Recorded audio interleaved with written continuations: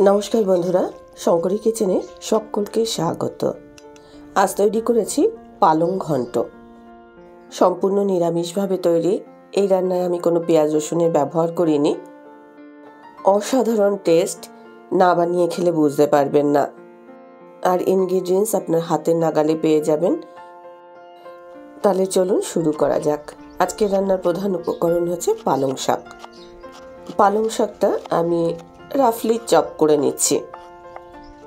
আমি এখানে এক কাটি পালং শাক নিয়েছি। সবার আগে পালং শাকের গোড়াগুলোকে আমি কেটে নিয়েছি, ধুয়ে তারপরে কুচিয়ে নিয়েছি।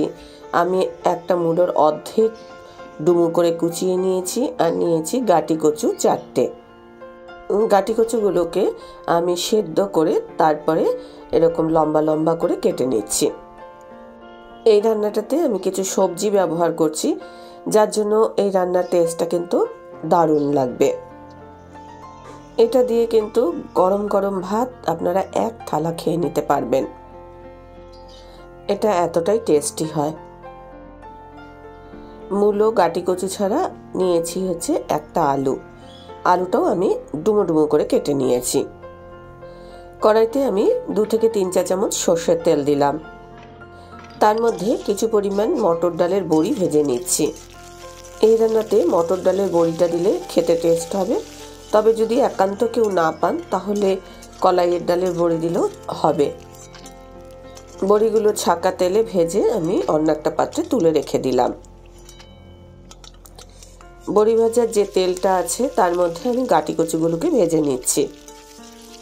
গাটি কচুগুলোকে আমি একটুখানি লালচে কালার হওয়া পর্যন্ত ভেজে নেব। দেখুন, এরকম একটা কালার আসবে। ততক্ষণ পর্যন্ত ভেজে নিলাম।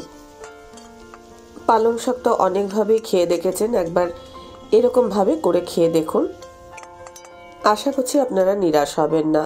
আমি কড়াইতে আরও একটু সর্ষের তেল দিয়েছি, তার মধ্যে দুটো শুকনো লঙ্কা আর এক চিমটি গোটা জিরে দিলাম। সবার আগে মূলোটা আমি দু এক সেকেন্ড নাড়াচাড়া করে নেব। মূলোটা ভাজার গন্ধ বেশ সুন্দর বেরিয়ে আসবে। তারপরে আমি অন্যান্য ইনগ্রিডিয়েন্টস ব্যবহার করব। এবার আমি দিয়ে দিলাম ডুমু করে কেটে রাখা আলু।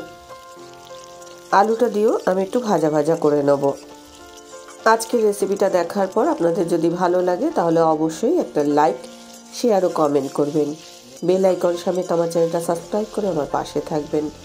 বেল আইকনটা ক্লিক করা থাকলে আমার যে কোনো রেসিপি বা আমি যাই আপলোড করি না কেন সবার আগে নোটিফিকেশন আপনার কাছেই পৌঁছে যাবে।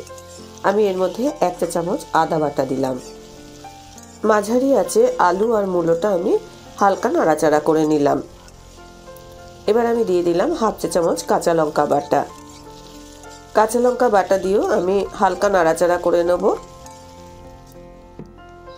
এবার এক এক করে গুঁড়ো মশলা দিচ্ছি, এক চা চামচ জিরের গুঁড়ো দিলাম। আমি এখানে তেলের পরিমাণটা কমই দিয়েছি, কম তেলে তো রান্নাটা খারাপ হবে না, ভালোই হবে। হাফ চা চামচ শুকনো লঙ্কার গুঁড়ো দিলাম। এই সময় আঁচটা আমি কম করে দিয়েছি। স্বাদ মতো নুন দিয়ে দিলাম। আমি এখানে কম তেলে রান্নাটা করেছি, আপনারা তেলের পরিমাণটা বাড়িয়েও দিতে পারেন। এবার দিয়ে দিলাম হাফ চা চামচ হলুদ গুঁড়ো। ভালো করে নাড়াচাড়া করে নিলাম। দিয়ে দিচ্ছি পালং শাক। আলু মূলোর সাথে এবার পালং শাকটা নাড়াচাড়া করে নেব। ভালো করে মিশিয়ে নিচ্ছি।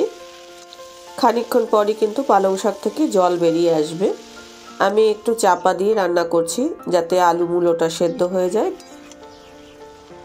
আর মাঝে মাঝে একটু নাড়াচাড়া করে দিচ্ছি।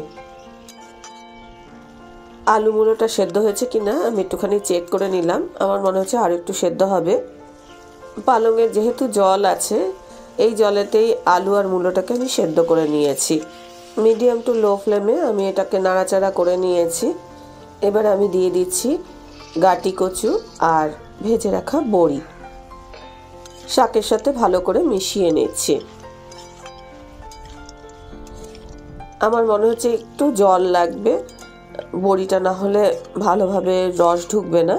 সেজন্য অল্প পরিমাণে জল দিলাম। এরকম গা মাখা মাখা মতোই জলটা রাখলাম। স্বাদ মতো চিনি দিলাম। জলটা একটু টানিয়ে নিতে হবে আর শুকনো শুকনো হওয়া পর্যন্ত অপেক্ষা করতে হবে। এখন শুকনো শুকনো হয়ে গেছে, সব শেষে আমি এক চা চামচ ঘি দিয়ে দিলাম। ভালো করে মিশিয়ে নিলাম। রেডি হয়ে গেল পালং ঘন্ট। গরম ভাতের সাথে পরিবেশন করুন। রেসিপিটা ভালো লাগলে অবশ্যই একটা লাইক, শেয়ার ও কমেন্ট করবেন।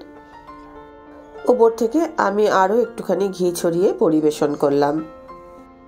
আজকের রেসিপি এই পর্যন্ত। দেখা হবে নতুন কোনো রেসিপি নিয়ে নতুন কোনো এপিসোডে এতক্ষণ আমার সঙ্গে থাকার জন্য অনেক অনেক ধন্যবাদ।